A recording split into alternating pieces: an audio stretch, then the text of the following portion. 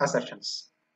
So now I will discuss how to exclude any API request and respective test validation from the execution.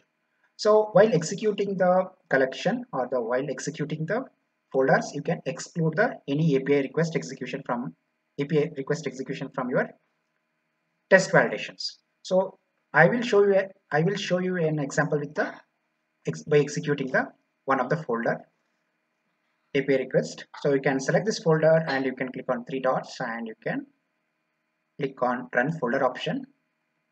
On the left side you will find the, all the requests which are there inside this particular positive endpoints folder. So this is the particular order. So all the APIs will get executed one by one.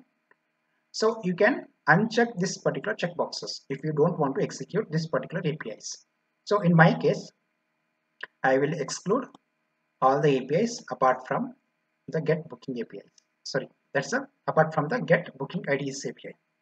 So only one API will get executed. So simply I will click on run booking API. So if you look at this one in the passed tab, only one API got executed and that is what passed. We are validating the status code of the API response. And also you can check out the total duration, how long it took for the execution. So it took 2 seconds 321 milliseconds. And if you look at this all tests so we have only one test script.